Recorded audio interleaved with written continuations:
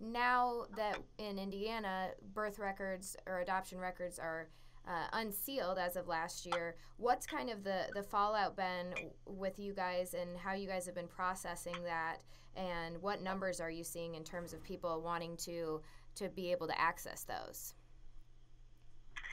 Well, um, you know, we definitely had a significant increase. I would say um, when the law changed, um, you know, as you know, it went to effect July 1st of 2018. So we started seeing an increase in requests probably about June of 2018 um, because there was always a little bit of a lag um, from the time of request to, you know, through the processing time. So um, we started receiving those requests in June knowing that, you know, the adoptees knew, well, they're not going to get to them before July 1st. So if we get them in, we'll be kind of first on the list for that um, July 1st date. Um, so in that time, we ran the numbers, and um, you know, just from the historical data, we saw about a um, three and a half to fourfold increase in requests. Um, Megan told me that you had asked um, how many people um, have requested uh, records from that time. So since July 1st uh, through um, last Thursday, so November 14th, we have had 4,590 requests um, wow. for records.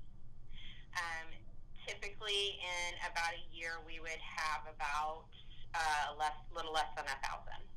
Wow. Um, so as you can see, that's it's you know quite a quite an increase. I think for 2018 total, it was just under 4,000. Okay. Um, so, uh, you know, it's dropping off significantly. We really got that huge rush at the beginning um, when people found out that it was available. So it actually took us several months to process just June and July those requests um, because so many of them came in at one time. Um, but we've worked through those now, and um, we're still um, you know, it's still at about a five to six month processing time, which is more than what it used to be, but a lot less than it was at the um, height of the backlog. Right. Now, um, what would you say is kind of the percentage, if you had to um, maybe figure that out uh, roughly, of adoptees in Indiana, how what percentage would you say are, are requesting these uh, records? What how many do you think there are out there that are choosing not to? You know, I I don't know because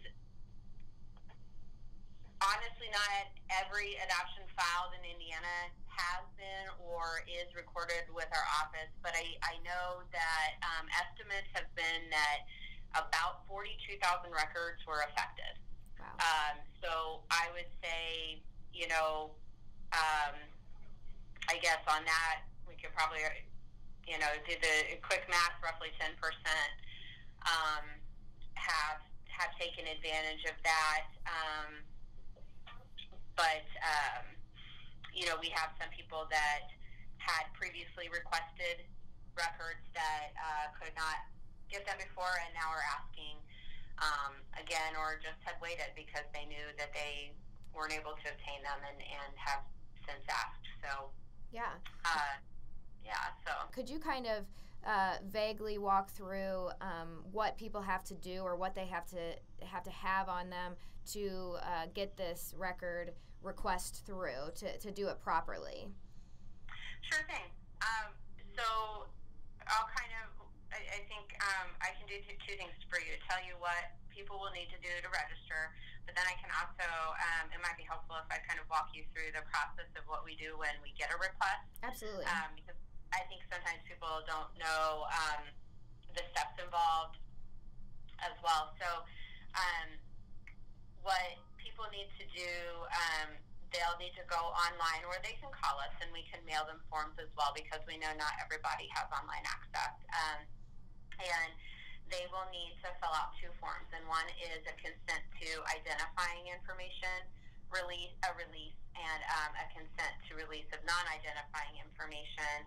Um, and the uh, forms just um, and then they will also there's also a form where they can register um, with the adoption history registry um, and what that does, um, so if you're a birth parent or you're an adoptee, um, you can register with the adoption um, history registry, and so then that way, so say um, it's kind of better to use an example. Say I'm a, a birth parent, and um, I'm interested in connecting with um, a child I put up for adoption. I can register with the adoption history program, and if that um, if the child I put out for adoption later uh, decides that they might be interested in connecting with their birth parent, also registers, uh, we will actually run a um, query anytime someone registers with the program to see if there's a match. And if so, if they filled out the proper forms based on what kind of forms they've filled out, uh, we will release the contact information to uh, the appropriate contact information to uh, the individuals. Gotcha. Awesome. Based on the level that they've requested. Right. Now, um, again, this might be kind of a hard question to answer, and I know that this is uh, something that's newer, but what do you see more of? Do you see more of, of birth parents looking for their kids or birth, you know, children looking for their parents? Um, I don't know. That's really hard to quantify. I mean, right. we see a, a fair number of all sides of birth parents wanting to register and adoptees wanting to register as well. Um, we don't always really know the outcome um, of it. We we just make the connections um, if requested or, or based on the consents and stuff like that. Okay, yeah. So it's it's you guys are on the front end, but you don't always know, you know, if that contact is made or anything like that. Correct. Right.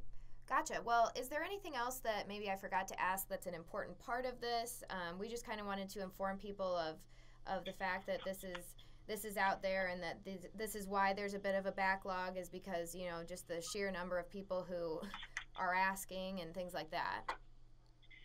No, I would just say you know certainly if if people have any questions or they're confused about the process, absolutely don't hesitate to reach out and give us a call. We are more than happy to answer questions. We know that this is a really personal and emotional journey for people, and um, our staff uh, absolutely understands that, and um, so they will take the time and walk walk. Uh, you through every single step if needed. We we have done that on, multiple occasions. We'll answer every question we can. Um, we certainly can't provide um, information, the information that people necessarily want over the phone. We can't provide the adoption information, um, but we will um, provide you every bit w- uh, of information we can for how you get those records, and um, are more than happy to work with people and. Um,